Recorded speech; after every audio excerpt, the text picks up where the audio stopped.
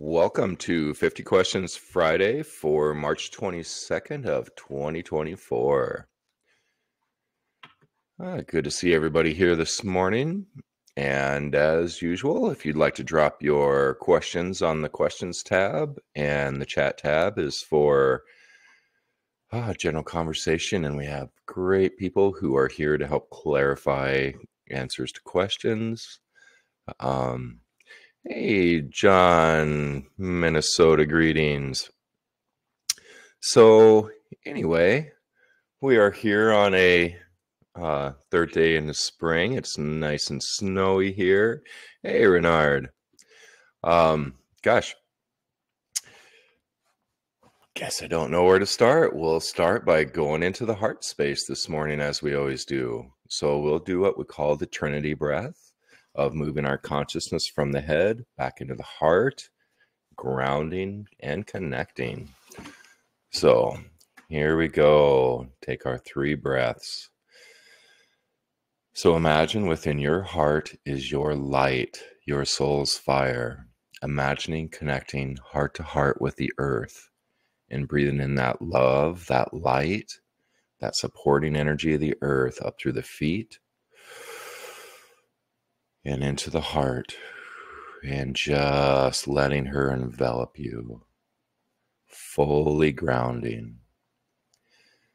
The next breath, we connect with you as Creator God, as soul, breathing in that light of you into the heart.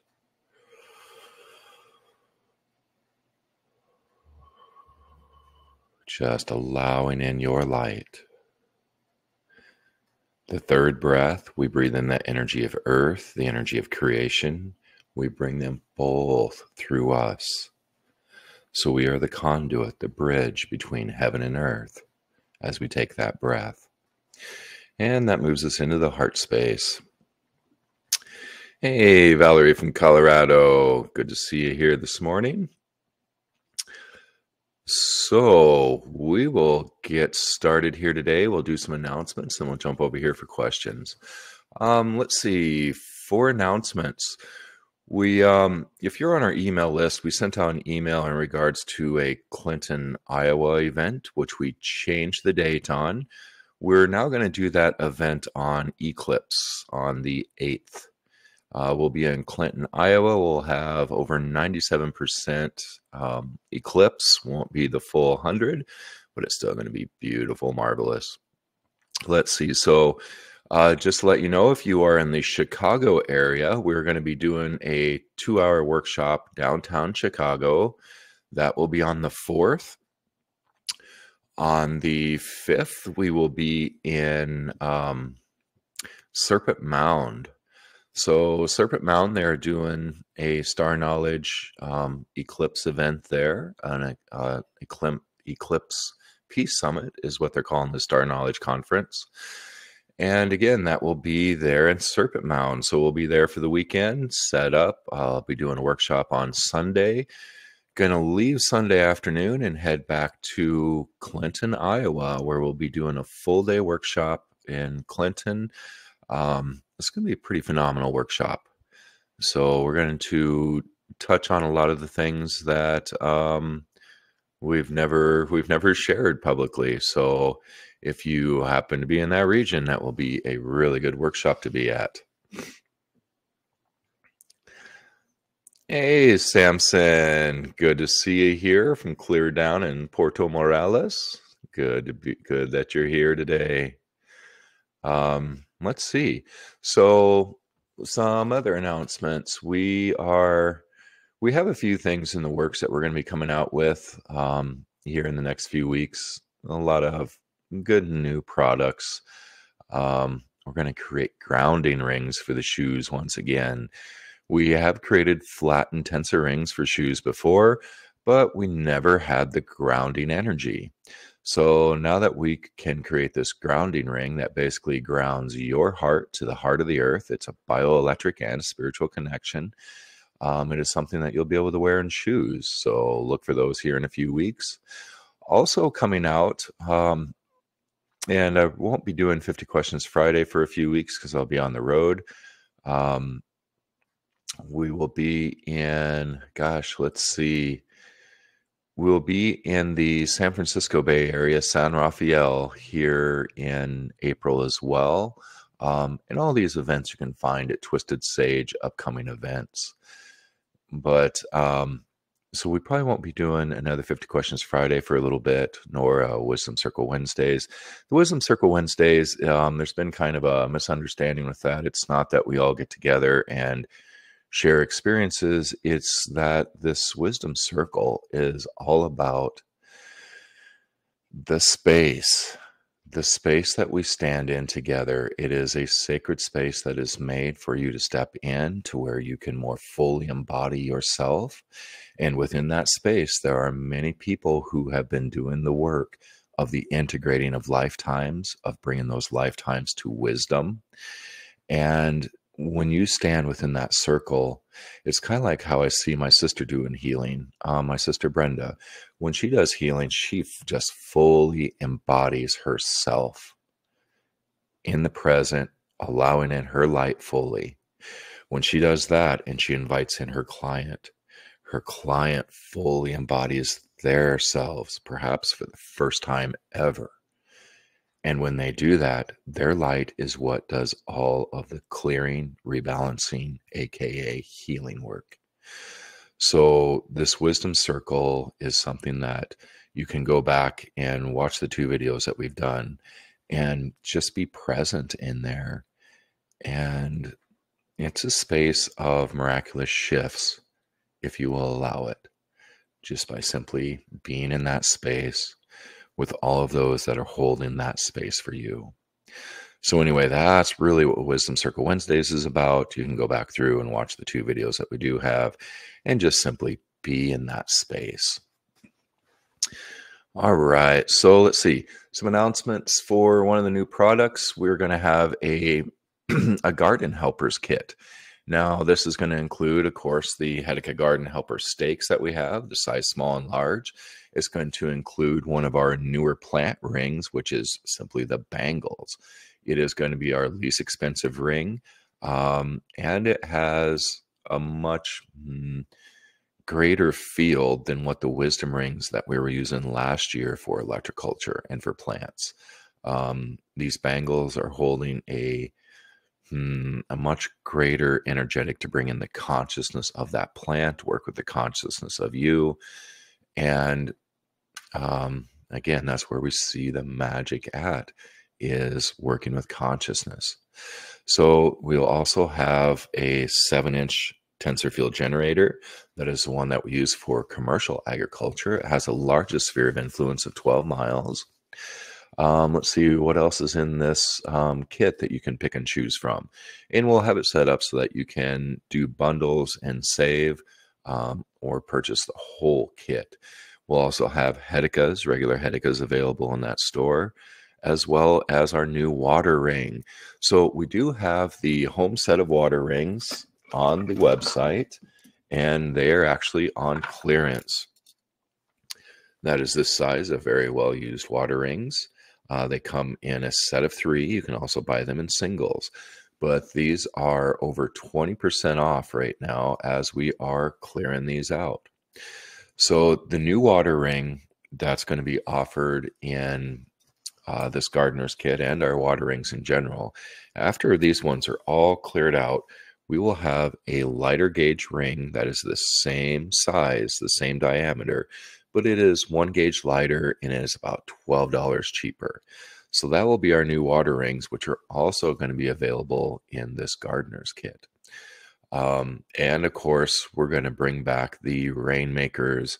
So that's something that um, you'll be able to soon order ahead of time. We'll have those available um, to simply order, but they won't be available here for another week or two.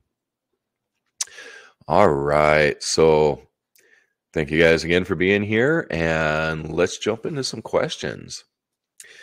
Uh, let's see. Here's a question. I've been wearing the Creation Field wand daily with the new Infinite Heart and a Moldavite pendant. Simply amazing. How can I use this tool to attract business and grow? Would you suggest the wand or generator more for setting that type of intention? Um, you know, I would use the wand and to simply jump in and do the work. So, you know, when you're looking at abundance and flow, the concept that I would take with it is that you are infinitely abundant, that we simply have blocks to receive. And so, to create your abundance, it's not about fighting your abundance or lack of. It is truly about hmm, welcoming it in. And when you use that creation field wand, you're in the heart space and you just send that energy out.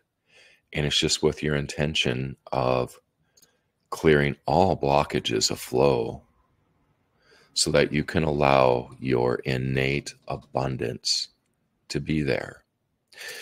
Now, thank you for also asking this question, Renard, because this is something that um, we've really noticed working with these creation fields.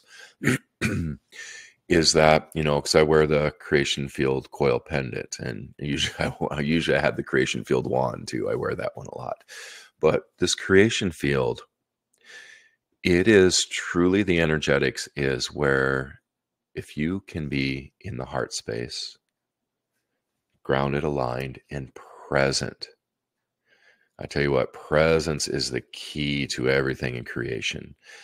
Self love knocks us off of our presence because, in order to stay in the moment where creation happens, you can't get pulled into the past or worries about the future.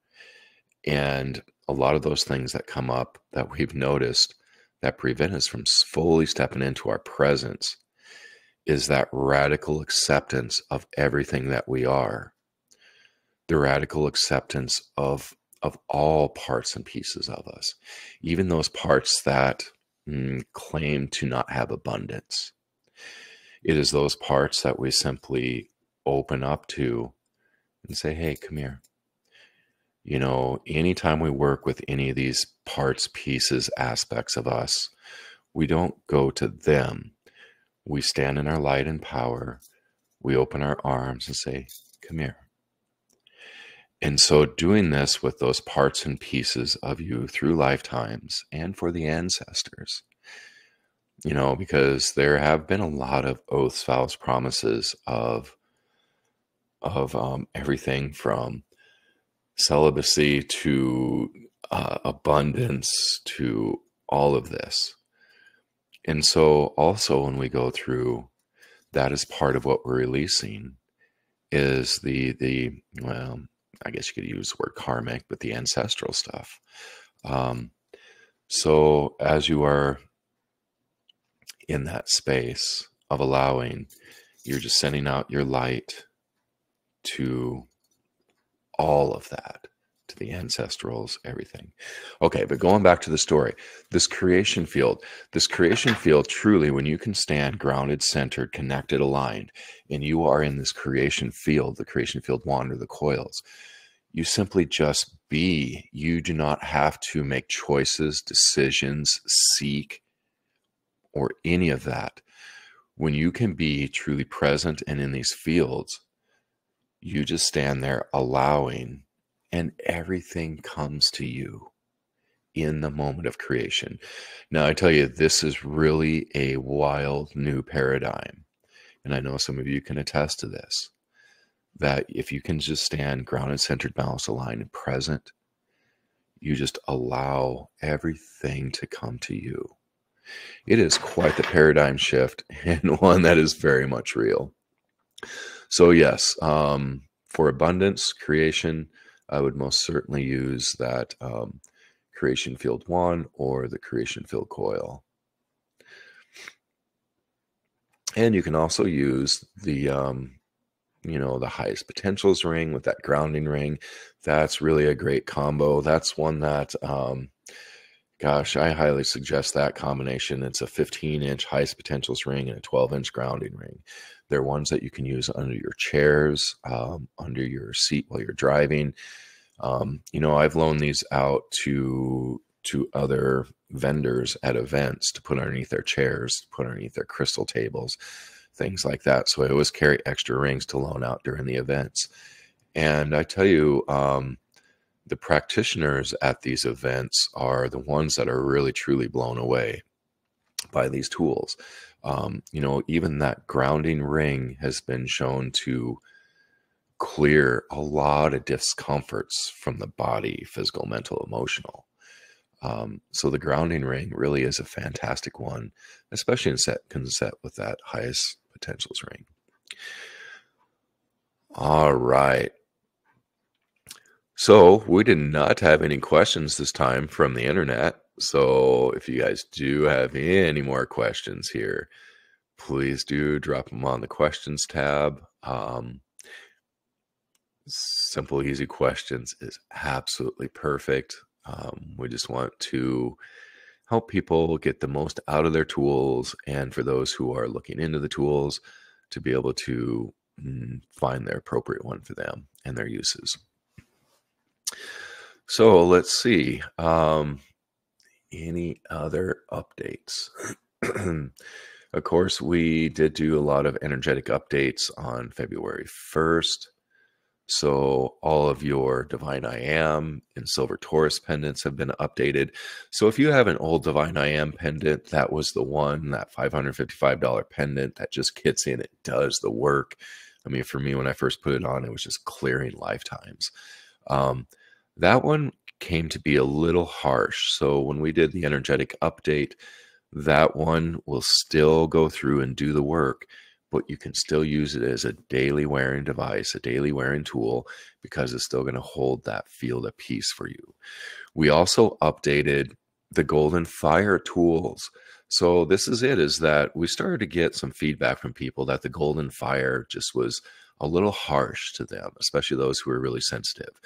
Um, the Golden Fire again was really loaded energetically with a lot of hmm, agenda for the clearing, the release. You know, that's in the time the Golden Fire was made, is when we were doing all of that big work with all of the perceived darkness outside of yourself.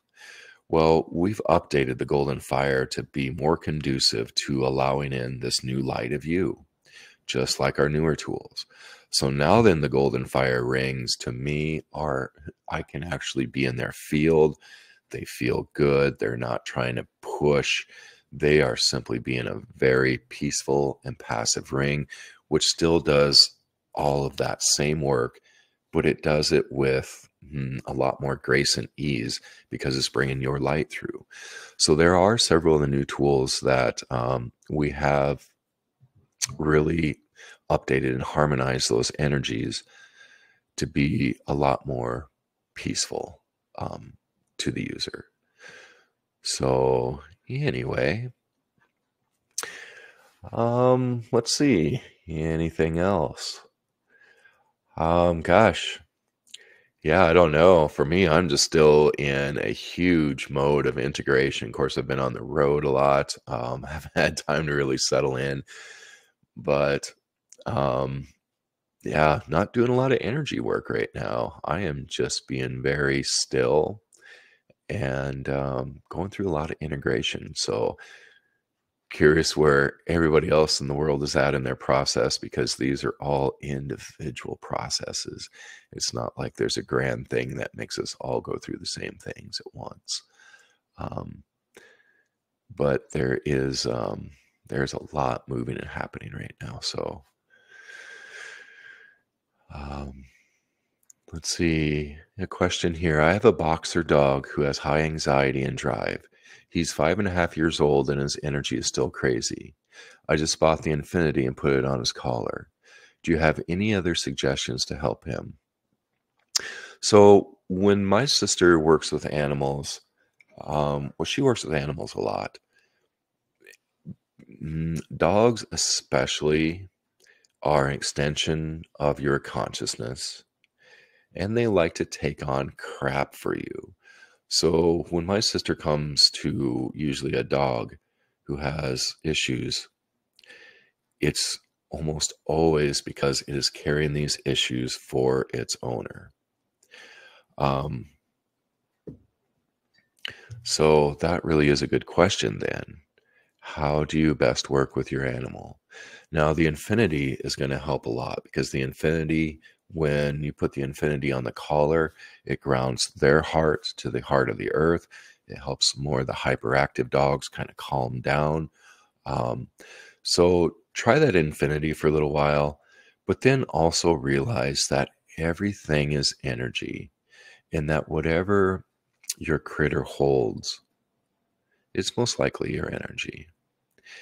And to clear energy, there are so many ways you can clear energy.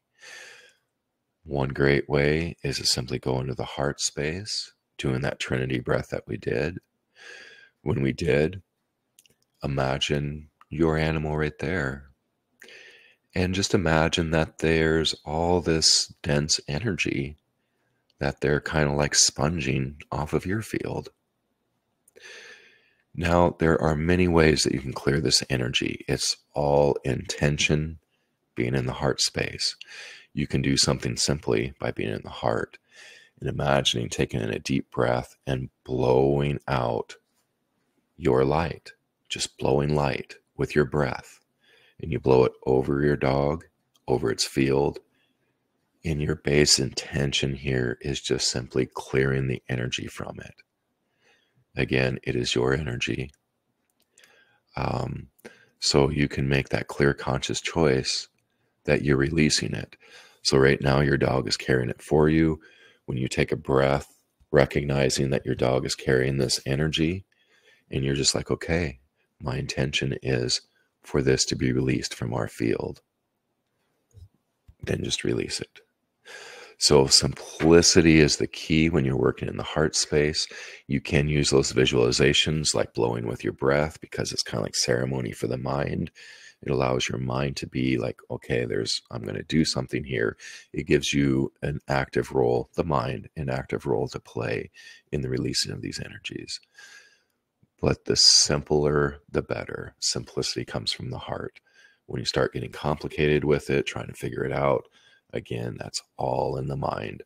All you need to know is that it is energy and that it can be released, transformed. Um, so, anyway, I hope that helps out with your doggy. Um, and again, that infinity might just do the entire trick. But keep an eye out for your critters because if you're having a hard time, they're most likely having a hard time too. Um, and you can start conversations with them as well. I mean, you can say, hey, this is my stuff. You don't need to carry it. I love you. Thank you. But please let it go. Um, so you can start the conversations with your critters as well. Um, let's see. All right. So, yeah, it is definitely a year of self love, abundance, of receiving, of receiving. Oh, my goodness. It is a great year to receive your light, to receive your abundance, to receive your realization that um, everything is energy and it is truly here to serve you. and yeah, great year of realizations. Anyway, um, yeah, I don't think I have anything else unless anybody has any other questions here. Um, so we will be back again. Um, not sure exactly when. Uh, we should be back here in April before um, before I'm gone all of April. So just look for an email and um, we'll be back around. And otherwise, oh, let's see. Yeah, got a couple more questions.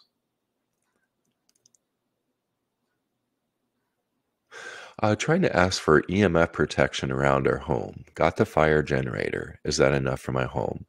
Yes. Yeah, so the golden fire generators are the the one that is best at simply EMF mitigation. Uh, the golden fire energies will even harmonize the 5G millimeter wave. And they have a large sphere of influence of about five and three quarter miles. So these fields go out, pardon me, these fields go out about two and a half to two and three quarters miles out in every direction. And so just having that tensor field generator, that golden fire generator in the home is going to be clearing everything free floating through the air. Um, the only thing that the golden fire generator doesn't really get into like um, your electrical panel. If your electrical panel, if you are sleeping within that six feet of your electrical panel, then I would suggest putting that golden fire generator near your electrical panel so it will connect in with the electrical system of the house. Um, that would be the only limitation with the generator in as far as its placement um, is if you are dealing with the energy from your electrical panel. But if you are don't spend any time within that five and a half to six feet of your electrical panel or your um, or or your um, sorry your meter your electrical meter then you are absolutely fine to have the generator placed anywhere in the home let's see if i had to pick one tool to wear while working what do you recommend i work in a busy store and there's lots of activity that is distracting the quantum heart coil pendant the quantum heart coil pendant is absolutely the best mm, coil pendant to wear. Now, this one is the Creation Field coil. It's a bit larger. You can still use the Creation Field coil if that's the one you're drawn to. But I would suggest the Quantum Heart coil pendant because, again, it is putting that fibrous cocoon around you. For empaths, you receive the information, but not the crap. It keeps you grounded, connected, aligned, and in the heart. So the empath filter really is a good one when you're dealing with the public. Now, if you really want to get crazy with it, you can wear the halo. So, like when I go to events, shows, I wear a halo because, especially in those larger events, it's hmm, there's a lot of mental stuff pushing information agendas, all kinds of things. There's just, it's like walking into, you know, swamp was the word, but maybe that's a little harsh. But it's walking into, you know, that just that sea of stuff. And when I wear the halo, especially, it, it, keeps me very centered, grounded, aligned, balanced. But we can't always wear a halo at work because some people don't appreciate the fashion statement. Um, so then that's where I would go with that quantum heart coil pendant.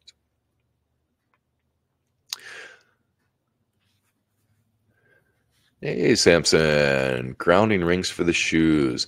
Not sure much about the grounding rings for the shoes yet. We're still have not actually put them into any kind of um, research and development production yet. So um, here next week, I'm hoping that we'll start to try out some of these rings. Um, so we're going to work on them to make ensure that we have the proper size, shape, um, gauge, flatness for those rings before we do let them out. Uh, let's see. Is there a new energy coming in, or is it simply the integration space through the infinity that presents itself to me as acceptance and awareness? So, you know, that's it, is, you know, that's been kind of coming up to me here recently too about you know new energies and these energy shifts and you know people talk about hey there's this shift in this opening and it's you know for all of us i you know as i mentioned here just earlier just a few minutes ago that i really feel like we're very much on an individual path that yes when we were first stepping onto our path there's certain alignments certain you know energy spaces that were very um, beneficial for us to truly step more into ourselves. But I truly think that as you start to really narrow in, as you truly step into your path there, that those things don't matter anymore, that you transcend those those concepts. Kind of like the whole concept of astrology in how it influences us. I truly believe that we can transcend that. Um, there's a lot of things that we are transcending.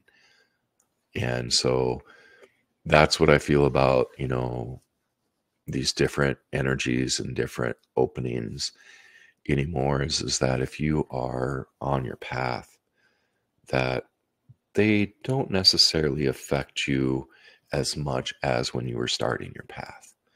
Um, that's only my belief and perception currently. So, but thanks for the thanks for the question, though, Samson, for sure. You know, because mm, we just each got to trust our our own ways for sure. Um, question: How does intention work when wanding? I don't go into the heart. Almost anything I think manifests to some degree. If I am not in the heart, can this be bad? No, not at all. Now, when you are wanding, and you know, gosh, there's a lot of times where you just it's tough to get into that space, into the heart. When you're in your pain body, it's tough to stop and take the breath and move into the heart space. Um, you know, when you are running energy with the wand, you are still bringing your light. Now, the thing about being in the heart is, is that when we're in the heart space, we are more of an open vessel. When we are in our head, we are looking for certain outcomes. We limit those outcomes by projecting from the mind. When you're in the head and you're like, oh, this damn shoulder, I need to fix it versus being in the heart and you're like, hey, there's something going on over here. I'm going to run my energy to it and accept and receive the highest outcome for me. Because that's it, is that being in the heart brings us a different hmm, basis to start from instead of a box, a perception of, hey, this is bad. I got to fix and heal this or I got to create this. We can still create, and things are still going to be just as we always have created from the mind. But when we create from the mind, we put limits on what those potentials can come, what potentials of outcome can be. And so when we're in a heart, and it, it makes us less um, rigid on what we choose the outcome to be. We're just in the heart space then that opens the field to many other potentials and possibilities. This is something that we've been, you know, throughout our whole journey. This has been our understanding is that when you're in the heart space and you don't put limits on what you're doing, that it opens up the potentials greatly for what can occur. Um, but yet, still, we've always been creating not from the heart. And we've created some pretty wonderful things, and you can still create that way. Um, the tools also hold a space for you to more easily drop into the heart space. So the dropping into the heart doesn't have to be a big ceremony, stopping and taking breaths. You can move into the heart space with a simple intention and a breath. There you go. And then when you move into the heart space and you're using the wand, it opens the potentials for you. It opens up the outcomes.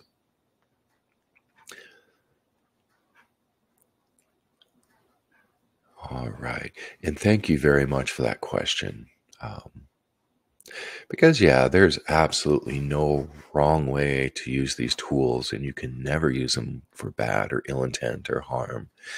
But you can greatly amplify what these tools do and the outcomes. And again, it all starts in the heart space um, because it is your light, your consciousness, your awareness with these tools that really helps to bring the magic, especially with the wisdom wands, because the wisdom wands truly the most potent part of these is your light, your soul, because it is not this or me that can do healing for you. It is your light. And to truly allow in your light, it's being comes from the heart that infinite pool of creation. Um, Samson, how does the rainmaker present itself to you? I've been broadcasting miracles. you know, Samson, I do not have a rainmaker left in my possession. Actually, I do have one, but it's permanently placed. Um, so I need to make some more rainmakers because I do realize they are wonderful, wonderful broadcasting stations. So um, the new rainmakers that we're going to make, we're going to update. We're we're updating those tensor coils to where they are bringing in both the grounding energy and the highest potentials field. And then the three rings in the center again are going to be that creation field. So this new um, this new rainmaker is going to be in a different energetic which i imagine you've already switched your energetics on your rainmaker samson to to be the highest potential um so i'm very glad that you're using it and that you've been able to broadcast miracles because that is it is um sharing these fields embodying them sharing them it's pretty amazing thing. Yeah, I still haven't quite gotten my voice back from being on the road doing three weekends of events. so, um, hey, thank you everybody for being here today and for asking the questions. And again, if you do have any questions that um, come up, please do send them to info at Twisted Sage and just put 50 Questions Friday in the header. And then next time we do have a 50 Questions Friday, we'll be able to bring that question up. So I appreciate all your time here today. And yeah, we will see you uh, sometime soon in the future. And hopefully, I see a couple of you at our upcoming events. All right. Take care, everybody. Till next time.